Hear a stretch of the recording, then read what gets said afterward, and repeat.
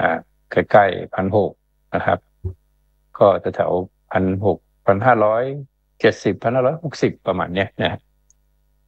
หุ้นก็จะขึ้นเริ่มแบบไม่ได้กระจายตัวล้วนะเริ่มเลือกบางตัวขึ้นเยอะนะครับบางตัวก็ไม่ได้ขึ้นละนะครับบางตัวก็เริ่มมีการขายแล้วนะก็เป็นธรรมชาติแล้วนะครับ ที่หลุดก็เลยบาวกลับมาที่หลุดนะฮะนะครับ รีบาวกลับมาละแต่เดี๋ยวว่าต่อว่าจะเป็นไงนะครับถ้าถ้าฟังภาษานักวิเคราะห์ก็บอกว่า เออนะก็รอดูนะครับ ปัจจัยต่อไปแล้วกันว่ามีปัจจัยอะไรไหมอะไรเงี้ยนะครับ ภาษานักวิเคราะห์นะฮะภาษาพี่ก็บอกว่ามันก็พักฐานแล้วเดี๋ยวมันจะย่อลงมานะฮะครับก็ค่อยว่ากันใหม่นะครับประมาณนี้นะครับทีเฟกนะฮะ ทีเฟกก็เมื่อมองว่าเซตย่อก็ต้องดูทีเฟกย่อนะครับครับ ก็คงดูตามนี้นะฮะหลุดหนึ่งห้าเก้าเจ็ดนะฮะก็ถอยมาแถวเก้าห้าสองเก้าห้าศูนย์เก้าสี่ศูนย์แล้วแต่นะครับ ว่าจะย่อได้แรงขนาดไหนนะฮะ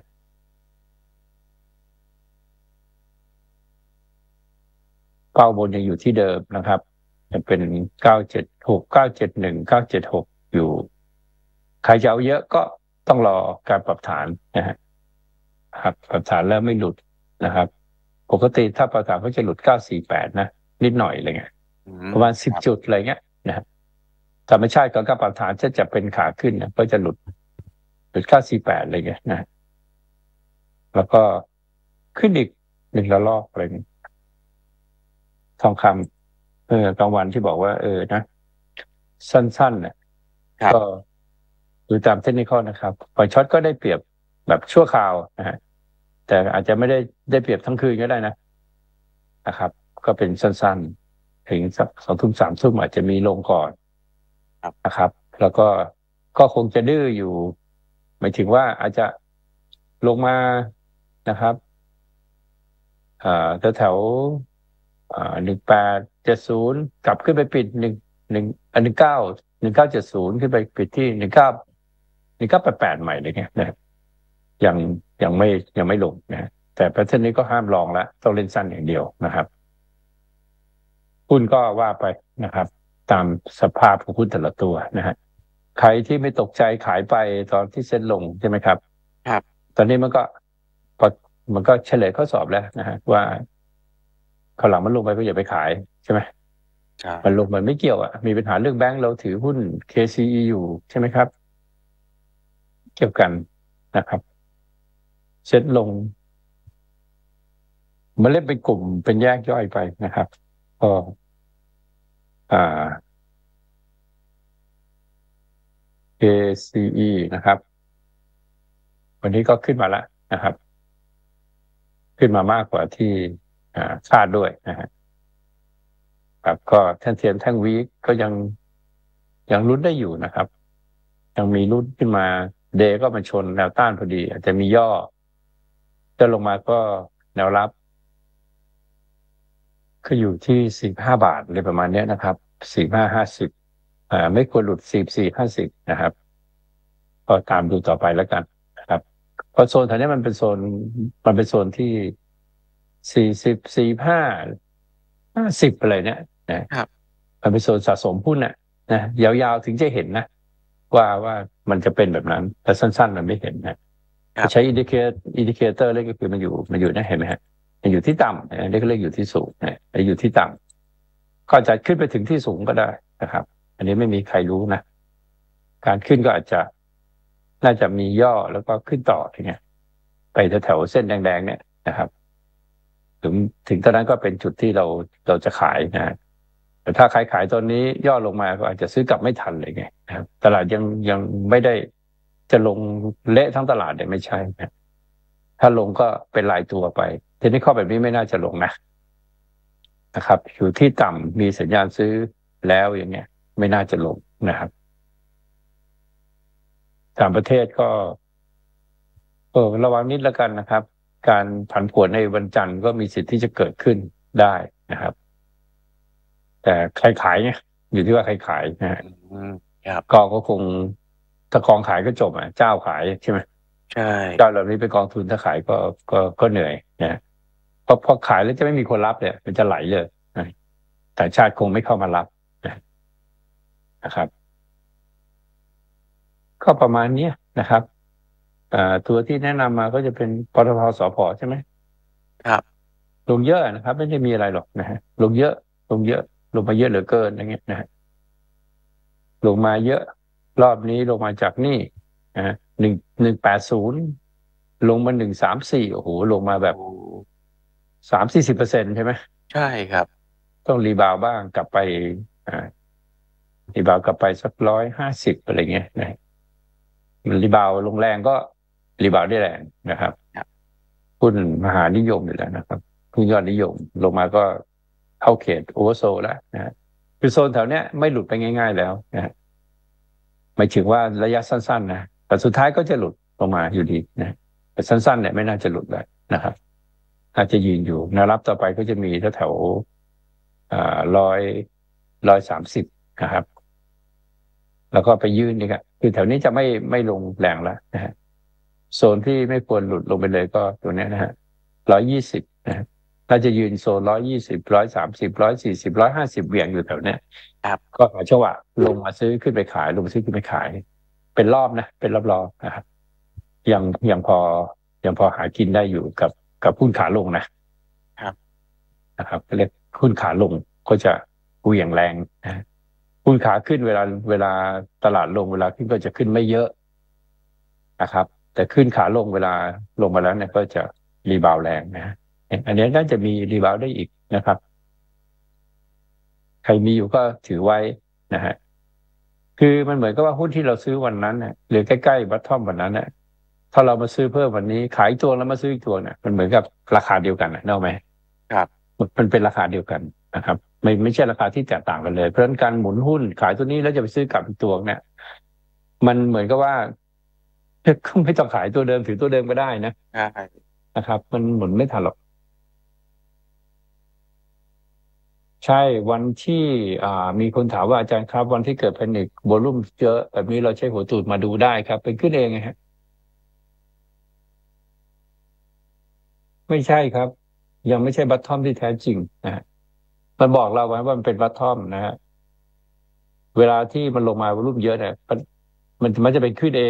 ก็เรียกว่าบัตทอมหนึ่งนะฮะแล้วขึ้นไปเป็นบีบีขึ้นได้เยอะนะใช่ไหมครับขึ้นบีก็ขึ้นได้เยอะนะ ขึ้นได้เป็นร้อยจุดนะ แล้วก็ลงทับซีนะไอ้ตรงซีเนี่ยวอลุ่มน้อยนะครับ ประมาณนั้นนะครับวอลุ่มเยอะก็หลายๆครั้งที่ลงมาดูก็ได้นะฮะเนี่ยถ้าเรานับตอนลงนะฮะเนี่ย ตอนเริ่มลงเนี่ยเนี่ยลงมาไปขึ้นเอใช่ไหมเนี่ยวอลุ่มแสนสี่หมื่นเก้าพันล้านใช่ไหมฮะครับ มันขึ้นไหมฮะเนี่ย ลงมาเนี่ย ลงมานะครับทำงานพันห้าร้อยแปดสิบเด้งขึ้นไปเนี่ยโอพันเคเจ็ดร้อยเห็นไหมฮะ ครับ แล้วลงต่อไหมล่ะ ลงต่อถามวอลุ่มยังเยอะเก้าหมื่นสองอยู่ ก็ลงต่อ จนวอลุ่มเหลือเท่าไหร่ฮะสี่หมื่นเก้าไงก็จบไงก็เป็นครับก็จบไงอันนี้เยอะไหมเยอะ เยอะใช่ไหมครับ ก็เด้งได้เยอะไหมล่ะ ก็เด้งได้เยอะนะฮะนะครับ แล้วลงมาอีกถ้าวอลุ่มยังเยอะอีก ก็ยังไม่จบอยู่ดีถ้าวอลุ่มมากกว่าแสนล้านก็ไม่จบอยู่ดี แต่การที่วอลุ่มนี้มันเยอะ การลงมาต่ำกว่าแถวนี้ หรือเท่ากับแถวนี้แล้ววอลุ่มมันหายไปเลยเหลือสมมติว่ามันเหลือสี่หมื่นอย่างเงี้ยอ้าวมันก็เป็นขึ้นสี่แล้วไง ใช่ไหมครับครับ คือมันไม่ใช่บัตทอมที่แท้จริงมันต้องลงมาทดสอบอะมันต้องลงมาทดสอบเห็นไหมครับตัวเนี้ยมันลงมาทดสอบเห็นไหมครับ เนี่ยวอลุ่มเยอะมันจึงลงมาทดสอบใช่ไหมครับลงมาทดสอบแล้วมันก็ยังวอลุ่มเยอะอยู่นะฮะแปดเก้าหมื่นเนี่ยถือว่าเยอะน้อยก็คือสี่ห้าหมื่นน่ะนะฮะ คือโซนอยู่ประมาณสักยี่ห้าเปอร์เซ็นของวอลุ่มข้างบนน่ะประมาณนั้นนะก็ถือว่าวอลุ่มน้อยนะครับครับเราดูตรงนี้ลงมาตัวนี้วอลุ่มเยอะไหมครับแปดหมื่นสองใช่ไหมครับแปดหมื่นสองก็เนี่ยพอสี่หมื่นเจ็ดก็ขึ้นต่อได้ใช่ไหมครับครับ เวลาสั้นๆนะครับ ปรับฐานอีกทีหนึ่งห้าหมื่นแปดก็ขึ้นต่อได้เห็นไหมฮะอันนี้คือหัวตูดอ่าวันนี้แสนล้านใช่ไหมครับครับตรงนี้ลงมาตัวนี้ก่อน rebound ตัวนี้ห้าหมื่นเจ็ดหกหมื่นเจ็ดตัวนี้แสนล้านตัวนี้ก็ไม่ใช่ bottom ไง อย่างไรก็ลง ลงก็อย่าไปคาดว่ามันจะต้องหลุดแถวนี้มันจะลงไปที่เดิมก็ได้ใช่ไหมครับ เพราะการ rebound ได้เยอะการลงมามันก็สามารถลงมาใกล้ๆที่เดิมนะครับเนี่ยหนึ่งห้าสองสามแล้ววอลุ่มหายไปวอลุ่มน้อยนะครับ ก็สามารถที่จะขึ้นต่อไปได้นะครับ ขึ้น B อะมันจะเป็นลักษณะของหนึ่งสองสามแล้วก็ทำ C เนี่ยนะครับ อันนี้ตอบให้ในแง่ของความรู้นะครับ นับหมดอะวอลุ่มไรนับหมดนะครับไม่ต้องคิดมากนะครับ มีอีกไหมครับ แต่ตอนนี้ยังอยู่ในช่วงของการ rebound อยู่นะครับกลางๆขึ้นอยู่นะครับ อาจจะเป็น phase ตรงนี้ก็ได้นะเนี่ยเห็นไหมฮะเนี่ย phase เนี่ยครับ phase เนี่ย phase เนี่ยขึ้นมาแล้วก็ทะลุไปชนยี่ห้า day แล้วก็ย่อลงมา แต่อาจจะไม่โหดแบบนี้นะ แล้วแต่สถานการณ์นะครับ อาจจะย่อลงมาประมาณแถวๆนี้แล้วก็ วิ่งกลับไปอีกทีหนึ่งนะครับทำได้หลายแบบนะฮะตามตามตามอ่าตามเหตุการณ์ที่เกิดขึ้นนะครับ ก็ยังไม่นิ่งอะนะฮะตลาดยังไม่นิ่งนะครับ ก็ระวังวันจันทร์วันนี้แท่งแดงแล้วใช่ไหมเนี่ยเห็นแท่งแดงไหมฮะครับ วันนี้เป็นแท่งแดงใช่ไหมครับ ครับผมแล้วก็ สี่หมื่นเก้าขึ้นมาตรงนี้ห้าหมื่นห้าหรือสี่หมื่นเก้ารุ่มเริ่มลดลงใช่ไหมฮะคือวอลุ่มมันน้อยขนาดนี้มันวิเคราะห์ยากนะมันวิเคราะห์ยากแต่ถ้าเราจะเอาตามหัวตูดนะก็คือว่ามันหมดแรงอะ หมดแรงซื้อ ครับ ก็มีมีมีโอกาสปรับฐานเหมือนกันเถอะนะครับ คนเล่นทีเฟกก็ระวังนิดนึงนะครับเก้าสี่ศูนย์นะแถวๆนั้นนะครับโอ้เก้าสี่ศูนย์นะฮะ ตัวทีไม่ไม่เยอะนะลงเก้าสี่ศูนย์ไม่เยอะนะครับ ครับอย่าลืมว่าลงไปเก้าสี่ศูนย์คนที่ long จากข้างล่างยังกำไรแปดสิบเปอร์เซ็นอยู่นะอืมเออเราต้องนึกถึงคนที่อยู่ข้างล่างนะ ครับมันจะน่า short ไหมครับ ถ้าเปิดเด้งไม่ผ่านพันหกไม่ไม่ไม่ไม่ใช่ ขึ้นขึ้น B ยังไม่จบนะฮะถ้าเป็น short ก็เป็น short ในใน long ยังเป็น long อยู่ คือยังรองจน ถึงเดือนเมษาครบเดือนอะ คือการอันนี้คือการวิเคราะห์แล้วนะครับก็มีมีโอกาสผิดแล้วนะพอเข้าใจไหมครับ ครับเพราะใครเรียนกับเราระบบของเราเนี่ยเราตามดูแล้วเราไม่วิเคราะห์นะฮะแต่ถ้าการคาดก็คือว่าถ้าเดือนหน้ามันลงเลยเนี่ยมันเละนะใช่ครับ เดือนนี้มันเละนะเพราะฉะนั้นอย่างน้อยมันก็ต้องขึ้นอีกอีกเดือนหนึ่ง เดือนขึ้นให้ครบแบบห้าสัปดาห์เจ็ดหกสัปดาห์อะไรเงี้ยนะฮะเป็น rebound แบบแรงสู้มีถูกไหมฮะครับวันนี้ขึ้นมาสองสัปดาห์ก็ขึ้นอีกอีกสักอีกสักสี่สัปดาห์ ไป sideway อีกสองสัปดาห์ เป็นแปดสัปดาห์ แล้วก็ค่อยลงอะไรเงี้ยนะครับยังพอเรียกว่าตลาดหุ้นหน่อยนะเพราะว่าอย่าลืมว่าพายุที่เกิดขึ้นเนี่ยทอร์นาโดอะไม่ได้เกิดที่ประเทศไทย มันเกิดที่อเมริกานะฮะ เราก็แค่โดนหางเลข เพียงแต่ว่า เราก็เจอประเภทที่แบบว่าเราไม่แข็งแรงไงนึกออกไหมครับมันเราเจอหางเลขเราก็เหมือนกับจะลงมากกว่าเขาถูกไหมฮะตอนแรกก็ดูว่าแข็งว่าเขาดีใช่ไหมครับแต่พอเขาเองมีปัญหาไงมาฟาดใส่เราไงใช่ไหมครับนะครับอ่าฟาดใส่เราก็ซัดจะเละเลยใช่ไหมเนี่ยซัดจะเละเลยเอาพอฟาดใส่เราก็เราก็โดนเนี่ยใช่ไหมโดนลงมาเนี่ย ประมาณเนี้ยครับ ก็จะลงมาตรงเนี้ยนะครับวัดวัดได้ประมาณนี้นะฮะเนี่ยคือมันยังไม่บอกเราว่ามันขึ้นถึงไหนนะครับ แต่ตะลงมันบอกเราไงเนี่ยเนี่ยว่ามันจะลงมาแถวๆประมาณเนี้ยนะครับ จากที่หลุดตรงเนี้ยเนี่ยจะลงมาประมาณเนี้ยเนี่ยลงมาประมาณเนี้ยครับแล้วก็จะเด้งขึ้นไป ก็ถ้าใครจะใช้ Fibo ก็สัก one half ไหม one half ก็ลงมาเท่าไหร่ก็เอาครึ่งหนึ่งหารอย่างเงี้ยนะครับง่ายๆเราไม่ต้องใช้ Fibo ก็ได้พันเจ็ดลงมาพันห้าร้อยยี่สิบลงมาร้อยยี่สิบจุด เออ ไม่ใช่สิ